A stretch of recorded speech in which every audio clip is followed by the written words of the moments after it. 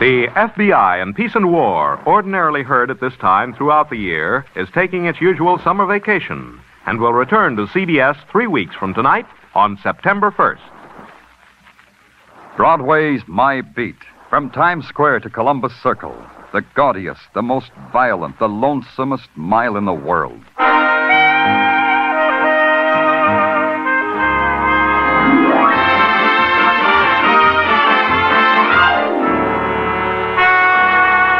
Broadway's My Beat with Larry Thor as Detective Danny Clover.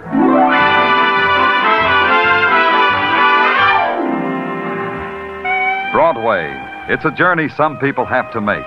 A journey that ends in a screaming, blinding furnace of light, or ends in darkness, cool and still. You walk it with a quick puppet strut of slapstick, or you walk it slow. Slow, like the last walk you'll ever take. Whatever way it is, it's my beat.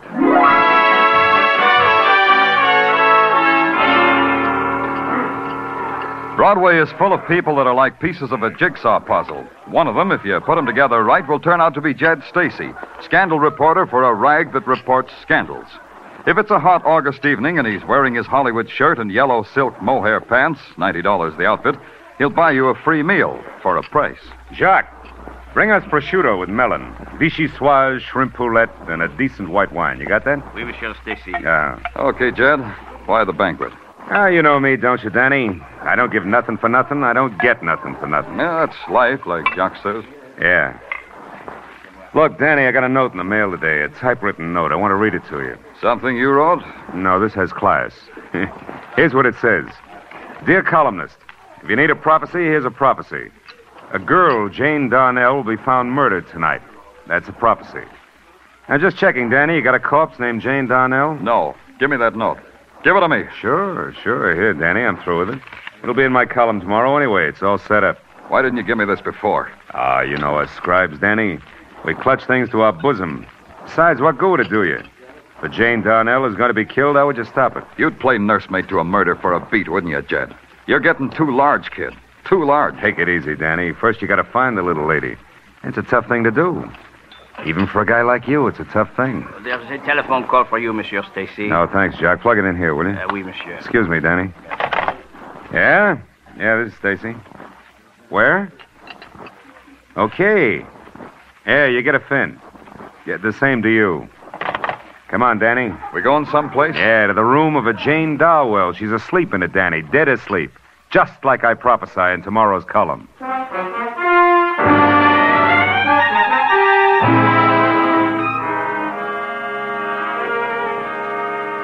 In here, Lieutenant. Right over there on the bed. Yeah, Sergeant, I see. Strangled, huh? With a silk stocking. I'm not a guy who knows about a thing like this, Danny, but it looks like the murder weapon is a pretty inferior piece of merchandise. Buck 98 will get you three pairs. Take your hands off that stocking, Jed. Huh? Oh, yeah, yeah, sure, Danny.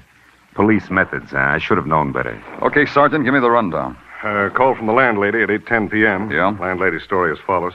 She returned here at 5 after 8, and then she... Where'd she return from? Corner bar. She spent the afternoon there singing Ghost Riders in the Sky and nursing a 10-cent beer for six hours. And they threw her out at 8 sharp. Yeah, we checked. Go on. Well, the landlady knocked at the door of Jane Darnell, the deceased. Upon receiving no answer, she walked in and found the deceased thus. I mean, like so. Uh, I mean... Uh, okay, okay. Where's the landlady now? I peeked across the hall when we came in, Danny. Yeah? There's a little old lady sitting in a rocker with a compress on a little wrinkled forehead and a little wrinkled nose on top of a big, big bottle. Landlady, huh? Yeah, Right in here, lady. Come on, right in this room. Take your hands off of me. I've been walking a long time without your help. Who's this, officer? A man who says he lives here. A man who My says his name name's is. Mac Taylor. What's going on here? Okay, officer, that's all. What's your business here, Mr. Taylor? I live here. Now answer a question for me. What's this all about? Did you know Jane Darnell? Oh, my Shirley. She takes two hours every Saturday night in the bathroom. And she is the. Oh, that's her over on the bed. What's the matter with her? She's dead. Murdered. Murdered. But, but who did it? Uh, Mr. Taylor, there's millions of people in New York. A little while ago, one of those millions of people came into this room and wrapped a silk stocking around Jane Darnell's neck. The person who did that was the person who murdered her. Do you know who it was, Mr. Taylor? Mr. Taylor didn't. She was just the other renter here in the boarding house as far as he was concerned. She never even smiled at him, he said. Man, you'd have to be mighty strange to kill a girl for that, he assured me. I assured him he'd better stick around. And then I went home and had indigestion all night from the meal Jed Stacy ordered that I never ate. The next morning, I spent the first two hours mulling over what I had in the murder of Jane Darnell. It came to two things. All I had was a girl in the morgue and a typewritten note saying she'd be there.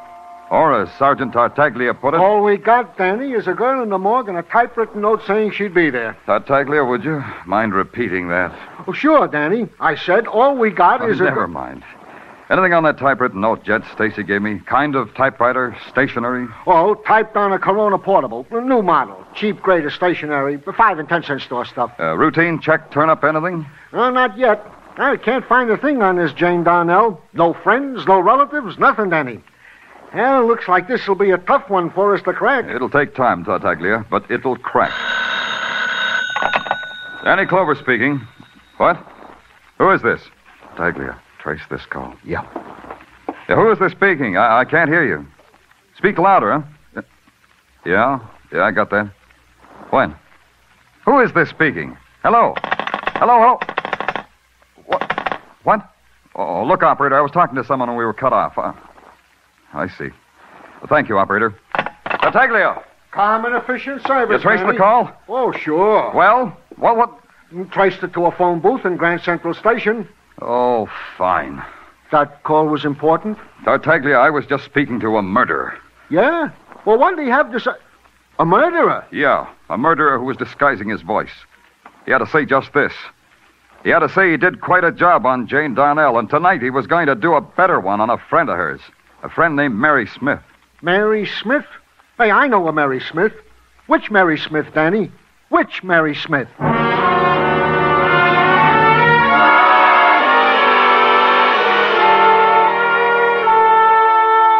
Tartaglia was right. In a city of eight million, what chance do you have of finding a Mary Smith? If it's the Mary Smith who's going to be struck down by a murderer, the odds are precisely one in eight million. You come up with Mary Smiths, all right. You trace one of them to Sing Sing, where she was doing 20 years for dynamiting a bank. Another Mary Smith left her husband's bed and board in Poughkeepsie. And you talk to a Mary Smith who says, Uh-huh, mister. My name's Mary Smith, and I know a secret. Humpty Dumpty sat on a wall. Humpty Dumpty had a great fall. So you try again. Uh, forgive me, sir, for have kept you waiting. It wasn't my hour for meditation. Uh, are you Mary Smith? yes, of course I am Mary Smith. In China, my name is Lertsu. But since I am in America, I have adopted a name that is 100% American.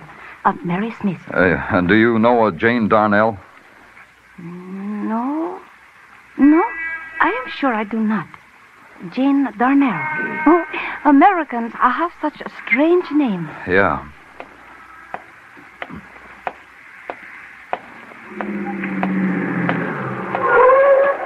Danny! Hey, Danny, hop in. I want to take you someplace where maybe you ought to be. Move your hearse out of the way, Jed. I might scrape the polish with my shabby squad car. Oh, now, Danny, you don't like me anymore. That hurts. I like you. Now, will you move your car? They told me at headquarters you'd be here.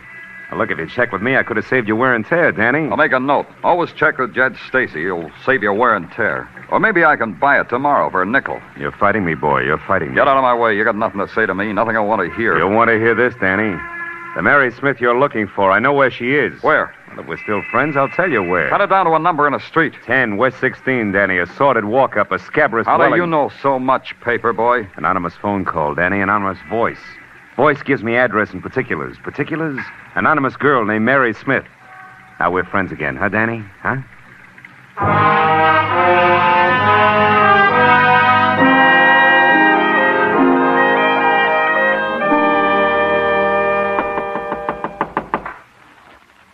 Miss Smith. Miss Smith. Open up, Miss Smith. It's the police. Maybe you should open it yourself, Clover. Yeah.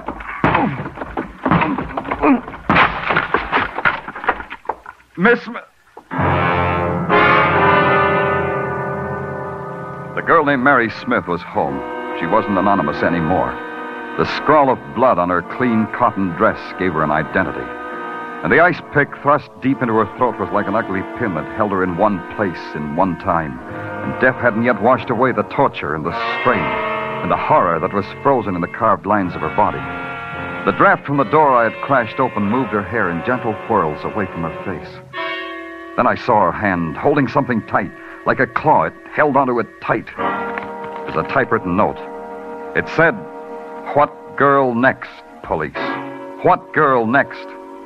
I give you a riddle. There were two that will be three. Who will it be?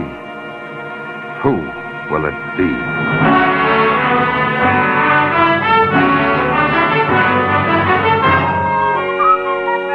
You are listening to Broadway's My Beat with Larry Thor as Detective Danny Clover.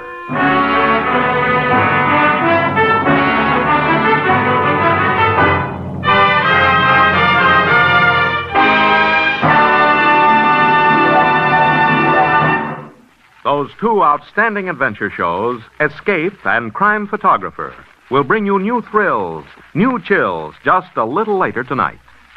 Casey, crime photographer, will encounter a wealthy stamp collector, his two sons, and a strange murder in Death of a Stranger. Escape will present another Thursday thriller in Red Wine by Lawrence Blochman. This Thursday, every Thursday, hear Escape and Crime Photographer on most of these same CBS network stations. Now back to Broadway's My Beat.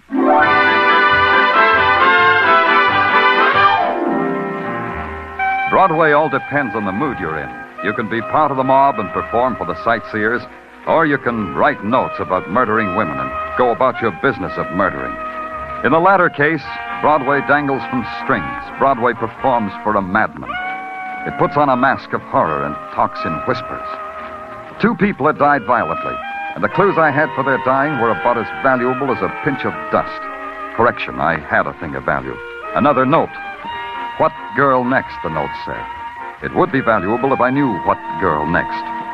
The only ray of sunshine at headquarters next morning was a police sergeant named Tartaglia, who did all sorts of remarkable things with details and file cards and pencil sharpeners.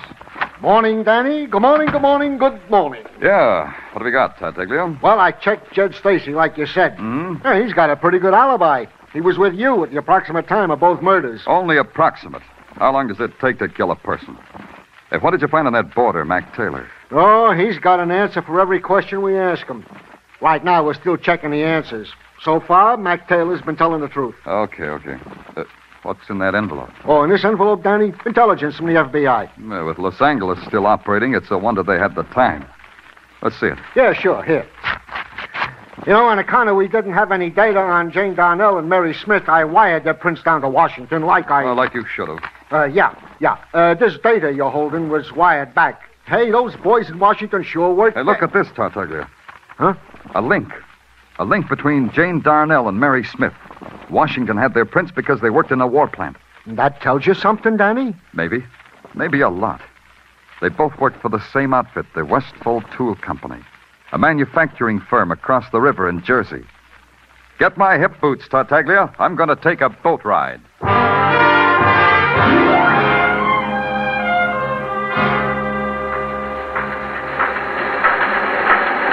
You want to see me? You're the foreman? Yeah. Can't we go somewhere where we can talk? What? I said, can't we Let's go somewhere where we can talk, huh? Yeah. Oh, what do you want to see me about, mister? I'm Danny Clover, New York Police Department. Oh, glad to know you. I'm Freddie Ney, Punch Press Department. You've been working in this department long, Mr. Ney? Oh, ten years. Why? Try this in your memory. Jane Darnell and Mary Smith. What does that do to you? Jane Darnell, Mary Smith. Uh, J- oh, yeah, yeah, that does something to me, all right. Yeah, they worked here side by side in my department, Uh-huh. right through the war and after we converted automobile parts. And what else?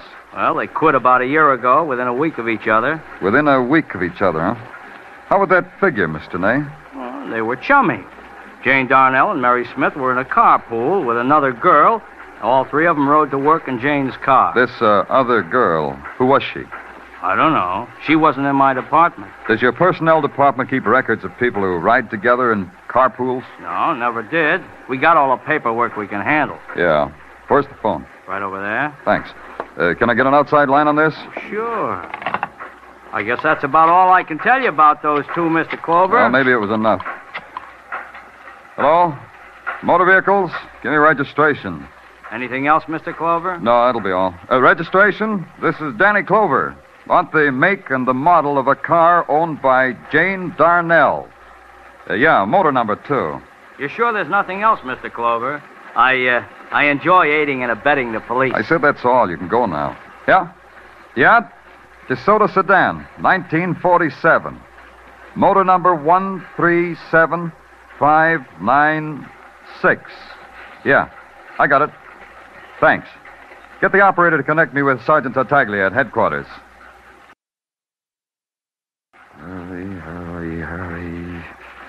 Uh, Tartaglia, Danny Clover, a, a detail, Tartaglia. A rush job.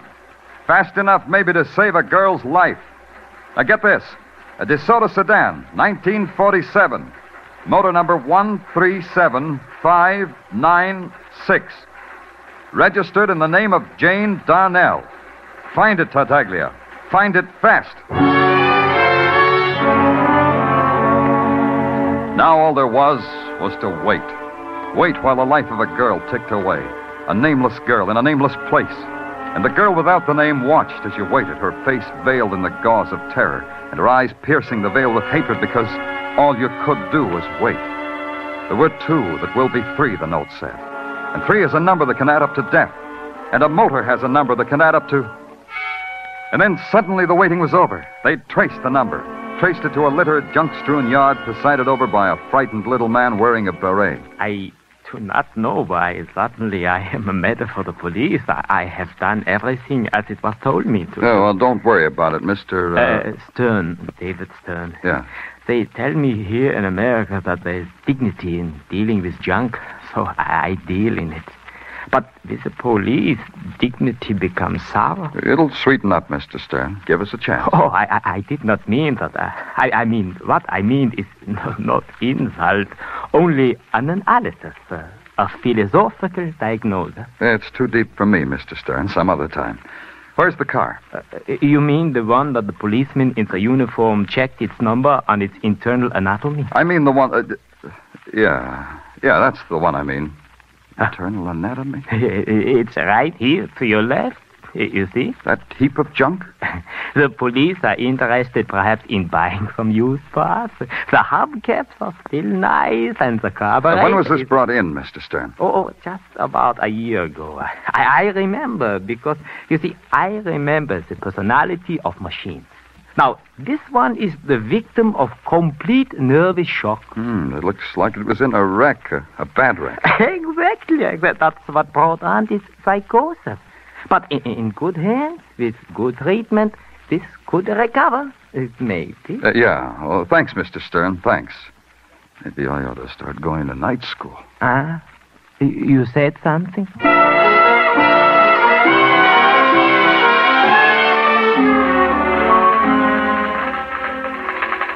Danny, Hi. welcome to Police Transcript and Record. Your presence is like a shaft of light in a warehouse of darkness. Coslow, will you do something for me and not have it come out an epic? This will take much doing. What's your pleasure, Danny? Open a window. How do you guys breathe in here? Sergeant Downs? Yeah, Coslow. Open a window. Danny can't breathe. Ah, that was thrilling how you did that, Sergeant Downs. You may now go back to your typewriter. Anything else, Danny? I could fan you with this fan, courtesy Huxley's mortuary. Oh, thanks. A little closer, Coslow. Ah, fine. Now get me everything you've got on an automobile accident. This car, about a year ago. Sergeant Downs? Uh, you get it, Coslow. I'll hold the fan. Your command is like a caress, Danny. Never mind, Downs. I shall get it. Oh, by the way, Danny, there's a gentleman sitting over there, been waiting for you. Gentleman by the name of Jed Stacy. Shall I present you? Get the dope on the accident now, as in right now. Yes, sir, Lieutenant, sir. What do you want, Jed? Oh, it's not what I want, Danny. It's what my syndicate wants. You know, columnists, no life of their own. That why you're always around when people die, so you can gloat? I didn't hear you say that, Danny. I'll make like I didn't hear it. Now, Danny, my syndicate is curious whether you found out who the number three girl's going to be. I bleed for you and your syndicate. You told me about the other two, Jed. How come you don't have a private line on this one? Danny, I got it all by myself. I Brief got it for me, Coslow. Just the words, without the ham. How else? Accident involving this car, May 10th, 1948. Crashed into by Mrs. Mildred Quimby. Mrs. Quimby was killed. Who was in the DeSoto when it happened? Three girls Jane Darnell, Mary Smith, and Sally Webb. You got an address on this Sally Webb? Most assuredly. 417th West 55th. We also got pictures of the whole mess. You may have them if you want them, Danny, without signing. Take back your fan, Coslow. You earned it. Sally Webb, eh? That's the girl my syndicate wants. Do they now? Print this, Jed. Print it, and I'll tear you apart. So long, Jed.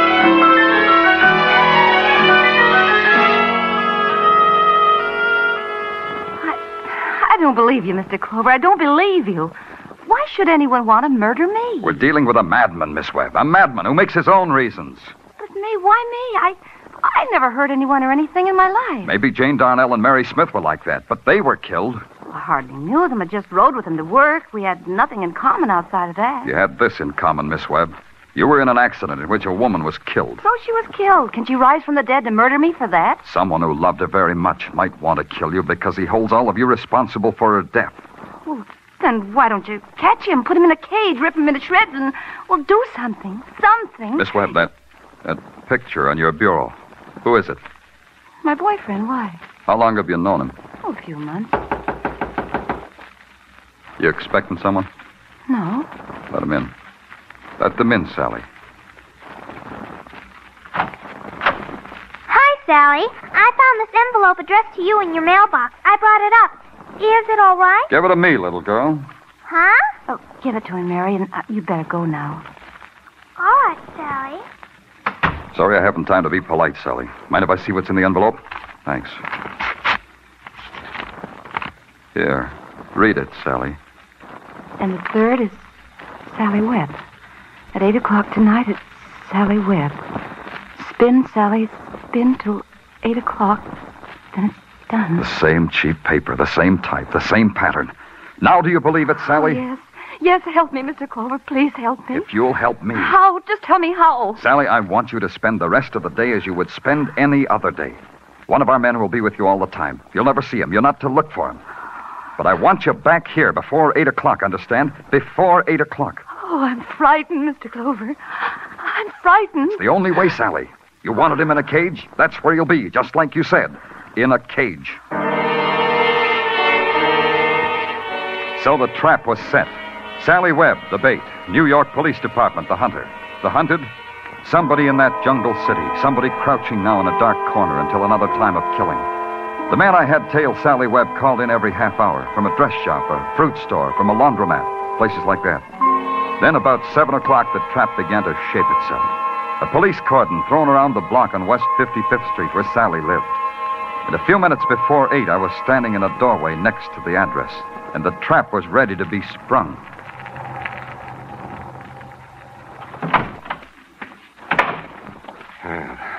Does it, Lieutenant? How about north and south of 55th Street? They covered? Yes, sir. No one gets through on 8th or 9th. Except the girl. Except the girl, Sergeant, and whoever might be following her. Uh, how about our boy, the one you assigned to Taylor? He's got orders to drop out at the corner of 9th and 55th. Now get this, Sergeant. I want your men in uniform to stay out of sight. Plain clothes as inconspicuous as possible. No noise. Yes, sir. That's what I told the men. Who's that? What chowderhead was stupid enough to use a siren? That's probably Patrolman Florio, sir. He's siren happy. Well, I hope he's going to be happy pounding the cement in Flushing.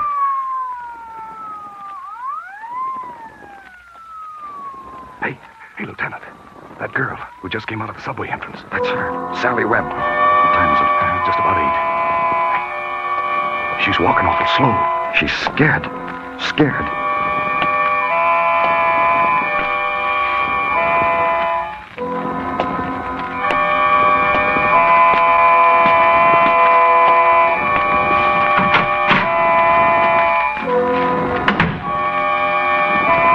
She's inside. See? The lights just went on. Let's go, Sergeant.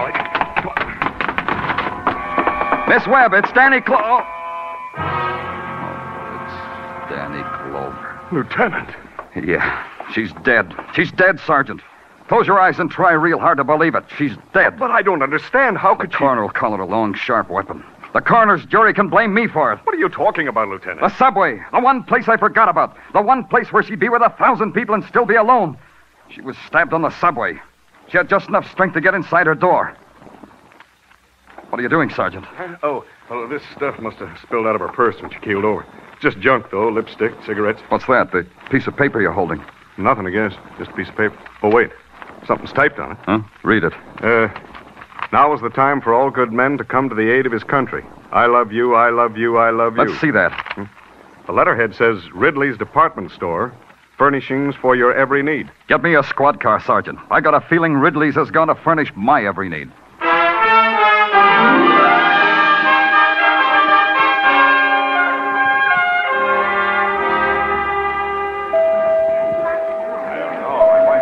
Interested in a typewriter, mister? Oh, I didn't know you worked here, Mac. Mac Taylor, isn't it? The indignant boarder who lived across the hall from Jane Donnell? Uh, yes, this is my place of business, the typewriter department. Yeah.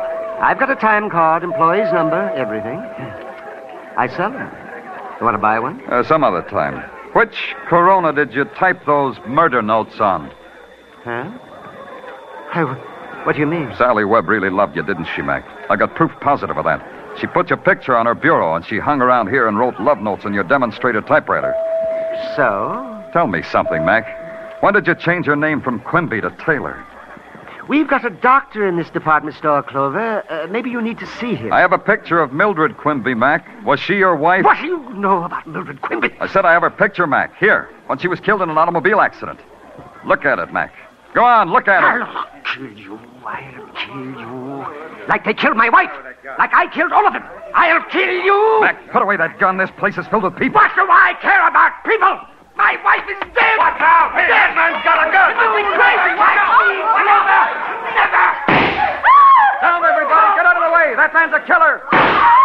Come and get me, Clover. Yeah. There's only one way to get you, Mac. Clover, you can't miss.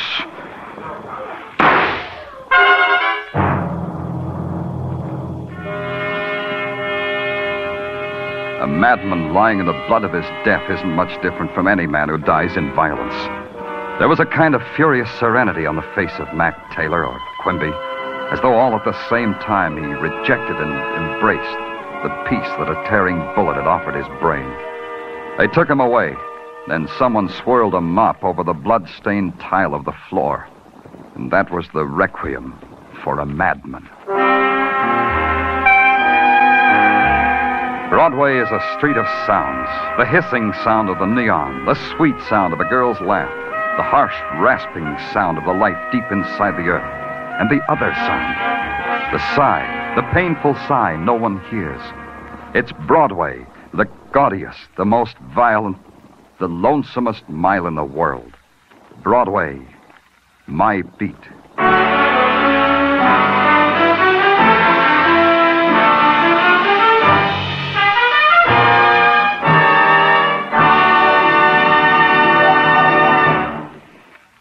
Broadway's My Beat with Larry Thor as Detective Danny Clover is produced and directed by Gordon T. Hughes, with script by Morton Fine and David Friedkin. Musical direction is by Lud Gluskin. Be sure to join us next week, same time, same station, for Broadway's My Beat. The launching of a promising career as a singer, a bunch of yellow roses from an admirer, a single sniff of their aroma, and sudden death. These are the events that launch Mr. Keene, himself a promising career man, as sleuth in one of his most fascinating cases tonight. Mr. Keene's latest adventure, the Yellow Rose murder case, follows immediately over most of these same stations. This is CBS, the Columbia Broadcasting System.